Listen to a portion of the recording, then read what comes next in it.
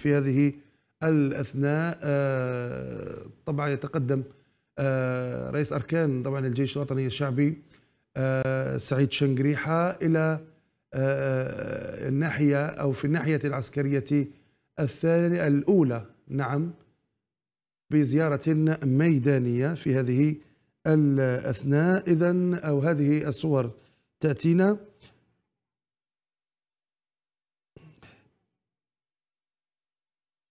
إذا السيد الفريق أول السعيد الشنقريحة رئيس أركان الجيش الوطني الشعبي يعقد إذا اجتماع عملي مع إطارات ومستخدمي الصحة العسكرية على مستوى المدرسة الوطنية للصحة العسكرية الناحية العسكرية الأولى. أين أشرف السيد الفريق الأول؟ سعيد شنقريحة رئيس أركان الجيش الوطني الشعبي هذا اليوم الاثنين على اجتماع عمل هذه المناسبة.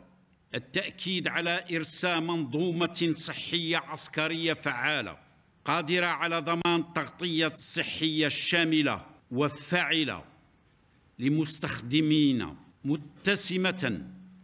بجودة التسيير وبالتكامل للأدوار بين مختلف المؤسسات الصحية العسكرية لطالما شكل انشغالا دائما للقيادة العليا للجيش الوطني الشعبي كما أن ما تحقق ميدانيا أو ما هو في طريق التجسيد من إنجازات كبرى ومتعددة في قطاع الصحة العسكرية وعلى جميع الأصعدة يمثل إحدى الشواهد الحية والأكيدة على المجهودات المتواصلة المبذولة من قبل القيادة العليا للجيش الوطني الشعبي في ظل الدعم المتواصل للسيد رئيس الجمهورية القائد الأعلى للقوات المسلحة وزير الدفاع الوطني.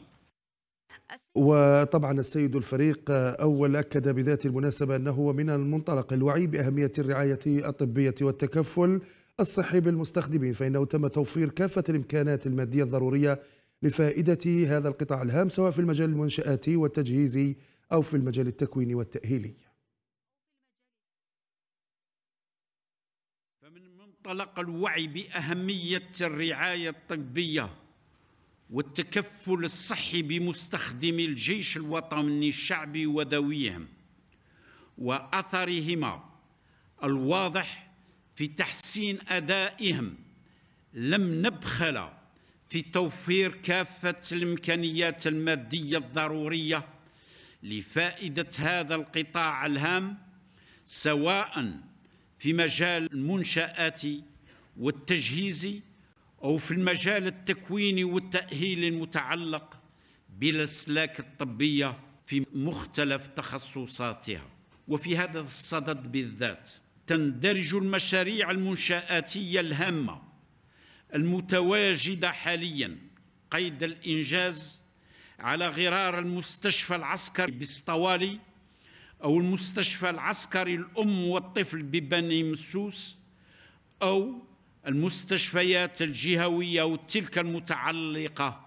بالإسناد الصحي المبرمجة على مستوى النواحي العسكرية الست. السيد الفريق أول حث كافة المسؤولين المعنيين على بذل المزيد من الجهود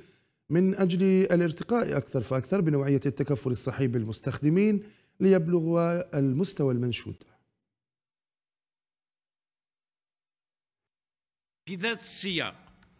وبهدف تمكين هذا القطاع الحساس من تأدية مهامه على أحسن وجه يتوجب على كافة المسؤولين المعنيين ببذل المزيد من الجهود من أجل الارتقاء أكثر فأكثر بنوعية التكفل الصحي بالمستخدمين العسكريين إلى المستوى المنشود لا سيما من خلال السهر على تكوين عنصر بشري كفء كفيل بتقديم رعاية صحية نوعية تكون في مستوى تطلعات المستخدمين وتتوافق تماما مع الإرادة العازمة التي تحدون في سبيل تطور ورقي الجيش الوطني الشعبي. فمقياس الكفاءة ومعيار القدرة هما منارة الطريق الأصوب الذي نسلكه دون سواه. نحو تثبيت نهج تحفيز الطاقات البشرية وتثمين خبراتها الغنية والمتراكمة وتشجيعهما على مواصلة بذل المزيد من الجهود على درب خدمة جيشنا الباسل الذي يتجه دائما وبعزم نحو الاستفادة أكثر فأكثر من تجارب واحترافية ومهاره إطاراته في كافة مواقع عمله بغية اكتساب المزيد من القوة وتثبيت معالم النجاعة القتالية. وفي الختام أسدى السيد فريق أول جملة من التوجيهات تتعلق على وجه الخصوص